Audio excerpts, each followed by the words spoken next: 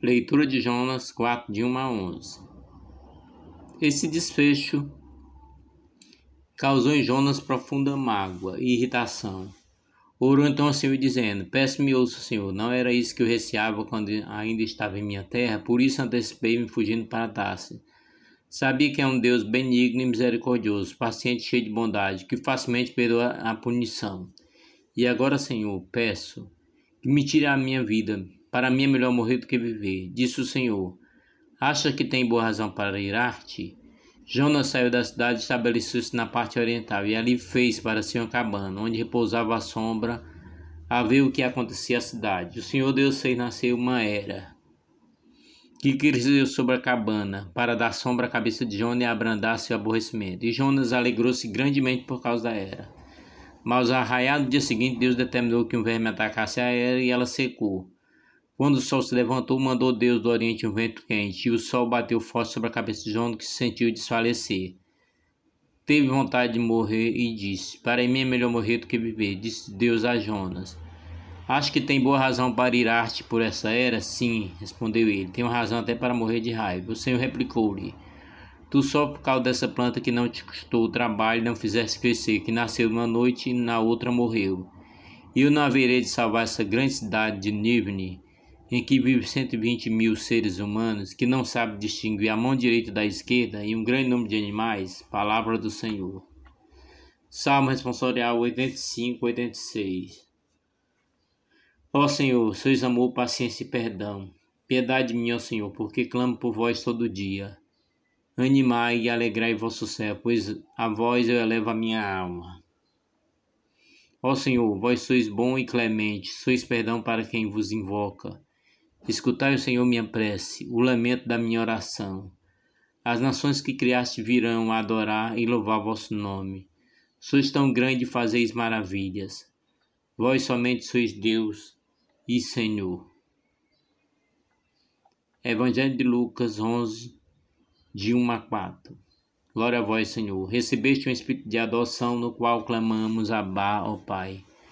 Um dia Jesus estava rezando num certo lugar. Quando terminou, um de seus discípulos pediu-lhe: Senhor, ensina-nos a rezar como também João ensinou a seus discípulos. Jesus respondeu: Quando rezar, dizer: Pai, santificado seja o teu nome. Venha o teu reino e dá-nos a cada dia o pão que precisamos. Perdoa os nossos pecados, pois nós também perdoamos a todos os nossos devedores não deixei cair em tentação. Palavra da salvação, glória a vós, Senhor, que pelas palavras do Evangelho sejam perdoados os nossos pecados. Jesus, homem de oração constante, seu testemunho desperta no discípulo o desejo de aprender a rezar. Jesus ensinou oração de poucas palavras, porém impregnado do essencial. Primeiramente, podemos chamar a Deus de Pai e pedir que seja santificado, isso é respeitado. Que o seu nome não seja profanado e que seu reinado se estabeleça no mundo. Seja de fato Deus e a reger a história humana. Em segundo lugar, pedimos o pão de cada dia, o suficiente para viver. Depois pedimos que Deus perdoe nossos pecados e damos a garantia que nós também perdoamos quem nos ofendem. Não deixe desviar do caminho que conduz a Deus. Isso é o caminho da fraternidade e da paz. Já que somos a todo instante tentados pela sociedade que nos cerca a adotar as práticas da injustiça. Portanto, vamos à, à via sacra para termos a oração da misericórdia três horas da tarde. Primeira estação: Jesus é condenado à morte. Nós vos adoramos, vos bendizemos, Senhor Jesus, porque pela vossa santa cruz remiste o mundo. Pilato, desejando agradar a multidão, soltou-lhe Barrabás. Depois de mandar flagelar, Jesus entregou para ser crucificado. Ó Santa Mãe de Deus, gravai no meu coração as chagas do Salvador. Segunda estação, Jesus toma a cruz aos ombros. Nós adoramos os bendizemos, Senhor Jesus, porque pela vossa santa cruz remeste o mundo.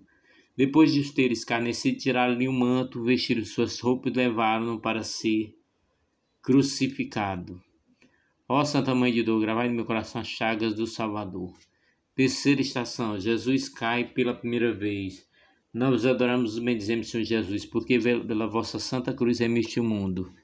Vinde em mim todos que estáis cansados e oprimidos, e eu hei de aliviar-vos. Tomai sobre vós o meu jugo e aprendei de mim, porque sou manso e humilde de coração, e encontrarei descanso para o vosso espírito, pois o meu jugo é suave e o meu fardo é leve. Ó Santa Mãe de Deus, gravai no meu coração a chaga do Salvador. Quarta estação, Jesus encontra sua mãe. Nós adoramos vos bendizemos, Senhor Jesus, porque pela vossa Santa Cruz remiste o mundo. Aquele que fizer a vontade de Deus, esse é que é meu irmão, minha irmã e minha mãe.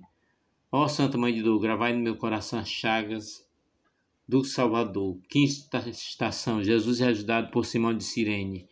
Nós adoramos vos bendizemos, Senhor Jesus, porque pela vossa Santa Cruz remiste o mundo. Jesus perguntou: Qual te parece ter sido próximo daquele que caiu nas mãos dos salteadores? Respondeu: Que usou de misericórdia para com ele. Jesus retorquiu: Vai e faz tu o mesmo. Santa Mãe de Dor, gravai no meu coração a chaga do Salvador. Sexta estação. Verônica enxuga o rosto a Jesus. Nós vos adoramos e bendizemos, Senhor Jesus, porque pela vossa Santa Cruz remiste o mundo.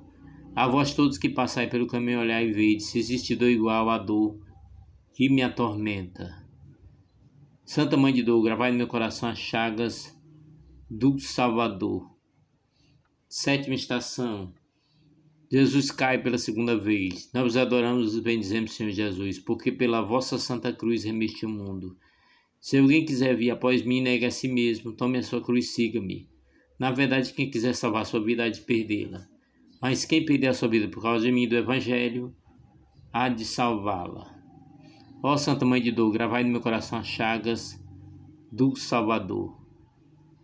Oitava estação, Jesus consola as piedosas mulheres. Nós adoramos e bendizemos, Senhor Jesus, porque pela vossa Santa Cruz remiste o mundo. Jesus voltou-se para elas e disse: Filho de Jerusalém, não chorei por mim, Chorai antes por vós mesmos e pelos vossos filhos.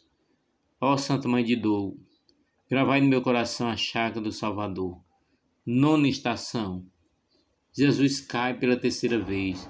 Nós vos adoramos e bendizemos, Senhor Jesus, porque pela vossa Santa Cruz remiste o mundo. E disse-lhe: A minha alma está numa tristeza mortal, ficai aqui e vigiai. Ó Santa Mãe de Dor, gravai no meu coração as chagas do Salvador. Décima estação. Jesus despojado das suas vestes. Nós adoramos o bem dizemos, Senhor Jesus, porque pela vossa Santa Cruz remiste o mundo. Assim que se cumpriu a escritura que diz: Repartir entre eles as minhas vestes, sobre a minha túnica lançaram sortes. Ó Santa Mãe de Deus, gravai no meu coração as chagas do Salvador. Décima primeira estação, Jesus crucificado. Nós adoramos bem dizemos, Senhor Jesus, porque pela vossa Santa, Cruz remiste o mundo. Então Jesus veio ali ao pé, a mãe, o discípulo amava, disse à mãe, mulher, esse teu filho. Depois disse ao discípulo, eis a tua mãe. Desde aquela hora o discípulo acolheu como sua. Ó Santa Mãe de Deus, gravai no meu coração as chagas do Salvador. Décima segunda estação, Jesus morre na cruz. Nós vos adoramos bem dizemos, Senhor Jesus, porque pela vossa Santa Cruz remiste o mundo. Dando forte grito, Jesus exclamou, Pai, nas tuas mãos trago meu espírito. Dito isso, expirou. Ó Santa Mãe de Deus, gravai no meu coração as chagas do Salvador. Nessa terceira estação, Jesus é descido da cruz e entregue a sua mãe. Nós adoramos e bendizemos, Senhor Jesus, porque pela vossa Santa, Santa Cruz remiste o mundo. Um espada transpará a tua alma, assim há de se revelar os pensamentos de muitos corações. Ó Santa Mãe de Deus, gravai no meu coração as chagas do Salvador. Portanto, vamos à oração da misericórdia, já que é o horário próprio da misericórdia. Sangue e água que brotaste do coração de Jesus, como fonte de misericórdia para nós, eu confio em vós. Ao expirar, ó Jesus, a fonte de vida brotou para calmas e abriu-se o oceano da misericórdia para todo mundo. Ó fonte da vida, misericórdia insondável de Deus, abraçai o mundo inteiro, derramai-vos sobre nós. Ó Jesus crucificado, suplico, concedei minha graça de sempre em toda parte em tudo, cumprir fielmente a santíssima vontade de vosso Pai. Quando essa vontade divina me parece penosa e difícil de realizar, então suplico-vos. Jesus, que da vossa chaga desça sobre mim força e vigor, que a minha boca repita, seja feita a vossa vontade, Senhor. Ó Salvador do mundo, amante da redenção humana, que em tão terrível suplício de dor, não pensai em vós mesmo, lembrando-vos apenas da salvação das almas. Ó Jesus, cheio de compaixão, concedei-me a graça de me esquecer de mim mesmo, a fim de viver inteiramente para as almas, ajudando-nos na obra de salvação segundo a santíssima vontade de vosso Pai. Ó Jesus, verdade eterna, nossa vida, invoca e explica a vossa misericórdia para os pobres pecadores. Ó docíssimo coração do meu Senhor, cheio de compaixão e insondável misericórdia. Imploro pelos pobres pecadores, ó coração sacratíssimo, fonte de misericórdia, do qual brota um raio de graça incompreensível para todo o gênero humano. Suplico-vos, luz para os pobres pecadores, ó Jesus, lembrai-vos da vossa amarga paixão, não permita que se percam almas. Remida com o vosso preciosíssimo sacratíssimo sangue. Ó Jesus, quando medito sobre o grande mérito do vosso sangue, resvilo com a sua imensidade, pois uma só gota teria sido suficiente para todos os pecadores. Ó como se consome de alegria o meu coração, quando contemplo essa vossa inconcebível bondade. Ó meu Jesus, desejo trazer a vossos pés todos os pecadores, para que louvem a vossa misericórdia pelos séculos sem fim. Nosso Senhor Jesus enumera três condições para a oração que seja atendida nessas três horas.